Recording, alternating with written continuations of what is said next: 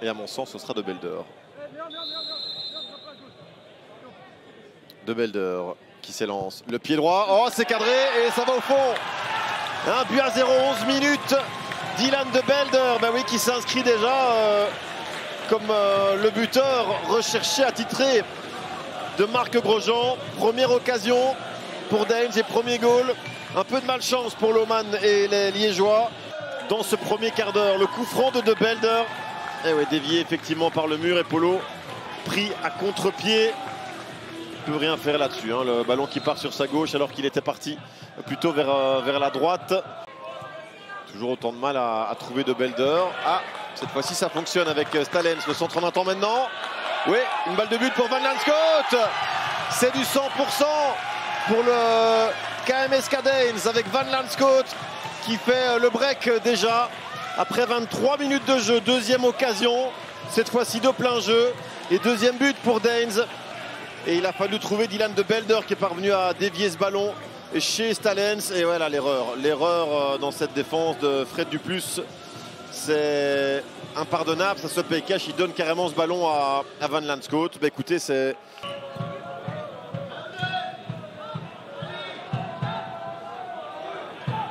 Van Lanscoot. De Belder qui plonge euh, vers le centre. Le centre de Van Lanscoot. La reprise de De Belder sur le poteau. Et Dan Soko qui suit bien pour le troisième but. Ah, c'est une véritable passoire cette euh, défense du standard ce soir. Bafodé Dan Soko qui donne le sourire à Marc Grosjean. Troisième goal de Daines. Bafodé Dan Soko, l'international guinéen. Définitivement à l'abri. Hein. L'effort de Van Lanscoot, la reprise de, Belder sur le poteau, ça revient chez Dan Soko. Ils sont deux, encore une fois du plus. Et Mawete, mais il ne s'interpose pas devant Dan Soko qui parvient à pousser ce ballon au fond du but. Une nouvelle fois, euh, quelle fébrilité dans le chef du capitaine liégeois là, avec les pros à 17 ans. Brahim Galidi, le pied droit et contre-pied sur Nacho Miras, la réduction de l'écart des espoirs liégeois par Brahim Galidi. avec un bel hommage à son père. Brahim Galidi qui a retiré son maillot. Réduction de l'écart en tout cas sur ce penalty. Nacho Miras pris à contre-pied. Prichinenko, transversal euh, chez Dan Soko. Dan Soko face un joueur liégeois. Il attend le dédoublement de Van Steenkiste, le centre et le quatrième goal. Oui, 4 buts à 1 pour Daines. Le doublé de Yellert Van Lanscoot sur cette phase bien construite des Tigres. Transféré des Pays-Bas cet été qui inscrit son quatrième goal de la saison. Dan Soko à la base, il attend Van Steenkiste, le dédoublement, le centre et la reprise là, Van Steenkiste qui trouve parfaitement Van Lanscoot qui passe devant Galidi. Oh non, c'était Calu. Pour le 4 buts à 1. Donc euh, ben, la messe est dite. Hein. quoi Chadli excellent retour d'Espinosa. Déjà récupéré quelques ballons. Spago, c'est pas mal. Travailler. Anne, qu'est-ce qu'il peut faire de cette balle? Centré vers Mabella, pourquoi pas? C'est goal pour Virton But pour Virton, premier tir cadré pour l'Excel. Et Yann Mabella, préféré aujourd'hui à Kim Abdallah, donne raison à son coach de l'avoir titularisé.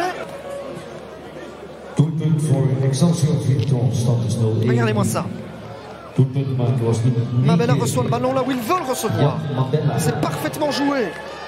C'est pas qu'un buteur, Suleiman Han. C'est aussi un homme qui euh, s'est créé un but. Belgali, Kadiri, Henkens, Chadli. Il peut enrouler. Chadli. Et à un moment donné, l'homme va égaliser. L'homme va égaliser. Zakaria, par Nassim Chadli. On a eu droit deux centres d'une qualité exceptionnelle.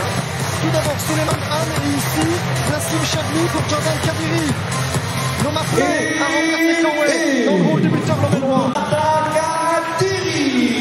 C'est son premier but de la saison. Son premier, figurez-vous, depuis le 5 avril 2021 pour l'homme. Chadli Il y avait tout le temps hein, d'ajuster ce centre. Très près de Vincenzini.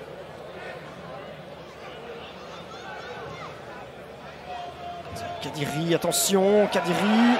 Il n'y a rien du tout, parce que l'homme elle poursuit. Chadli, Belgali, c'est une balle de 2 à ceci, c'est fait Oh, quelle belle finition pour Rafik Belgali L'homme prend l'avantage à l'heure de jeu Rafik Belgali On sentait hein, que si le 2-1 devait tomber, il allait venir du flanc droit.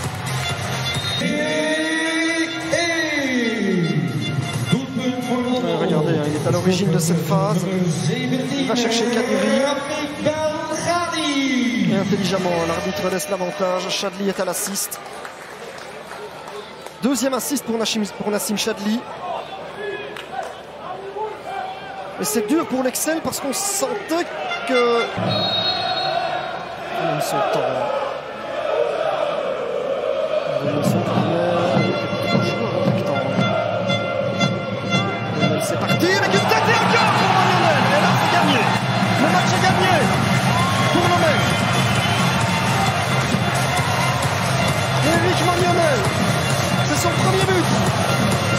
3 buts à 1. Finalement, il n'y a pas besoin d'avoir beaucoup de moments restants. La moitié des moments, on va gagner notre duel. Et où le ballon est. C'est qui est battu dans les airs. Le corner est parfait, le Caillou Roquet.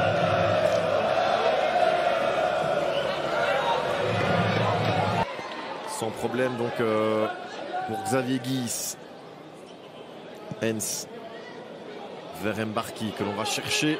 Une nouvelle fois, il est passé. Ridwan Mbarki, ça doit être l'ouverture du score. Et ouais, ça va au fond. Un but à zéro pour Dender et le choix payant de Régis Van Acker qui a fait confiance à cet homme. Ridwan Mbarki qui a inscrit son premier goal de la saison sur euh, un flanc. Et regardez, il passe effectivement euh, son homme avec une certaine facilité. Mauricio Cuevas roulé dans la farine véritablement. Et, puis le, le, plat du pied dans la lucarne de Shinton.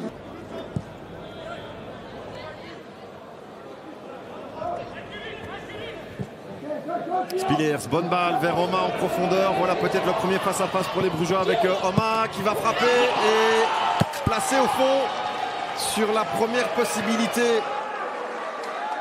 des Brugeois. Le but du petit format japonais pour l'égalisation brugeoise. Kion Oma récupéré, ouais, tout simplement la défense surprise. Un Max Met n'a pas vu dans son dos le japonais partir. Le crochet intérieur pour euh, effacer Dylan Ragol. Et puis euh, il est tout simplement trop tard. Hein. Oma qui place le ballon a même été dévié par le retour. Je crois que c'est Mike Smith qui dévie légèrement ce ballon avant qu'il ne termine au fond des filets. Un but partout. Le but du japonais Oma pour remettre les deux équipes à égalité.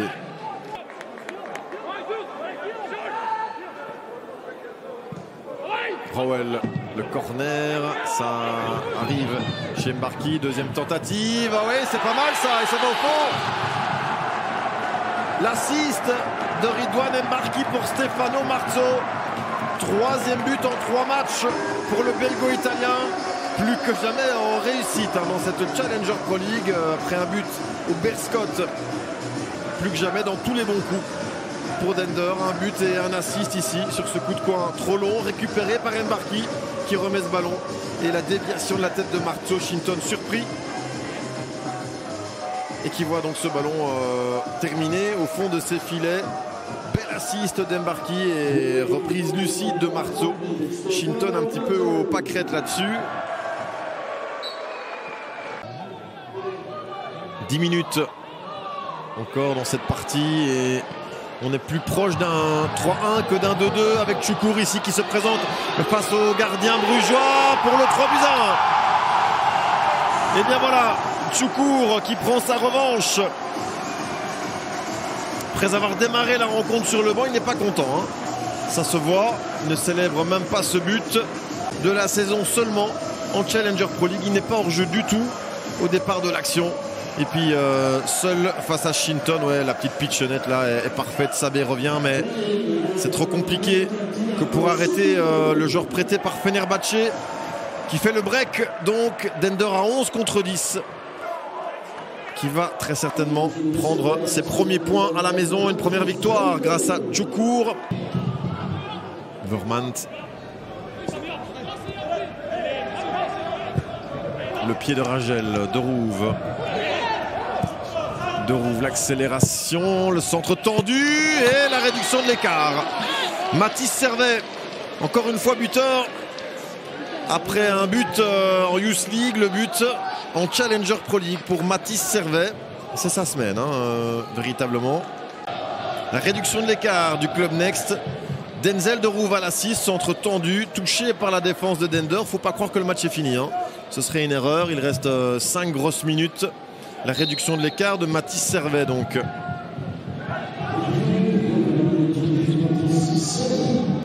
Pour l'instant, les RSA Futures font bloc. Matisse. Matisse dans le central. Matisse contre. Oh, attention à Noir Telage. Et la Towers qui est sorti de ses, euh, de ses buts. Telage, le but est ouvert. Il y a cru jusqu'au bout à Noir Telage. Sur ce contre favorable. Et les RSA Futures ouvrent le score grâce à Anwar Telage qui euh, a surgi là dans la partie de terrain anversoise. Toute la justesse technique et surtout, mais voilà, il est là au bon, bon, bon moment, au bon endroit. Et l'attaque, le petit coup de rein pour effacer la Towers. Il y a un retour d'Hervé Matisse en vain.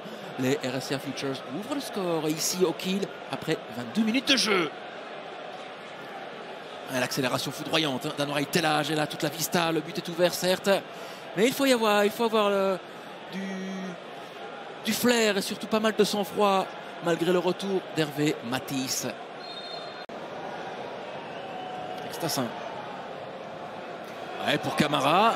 Pas de position de hors-jeu. La sortie. Ouais, le grand pont sur la Towers.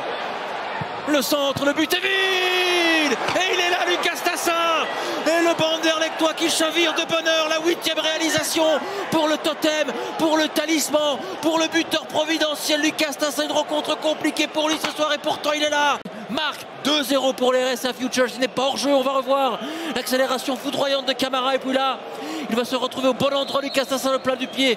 Sécurité 2-0. Et c'est peut-être plié ici au kill le facteur X, Lucas Tassin, qui surgit entre deux défenseurs anversois.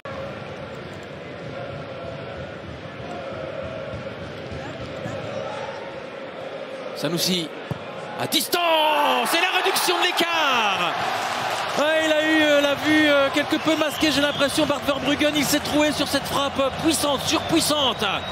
Dorian Sanoussi, le capitaine du Berscott. Le suspense est-il relancé? En tout cas, sur cette frappe flottante, fouillante de Sanoussi.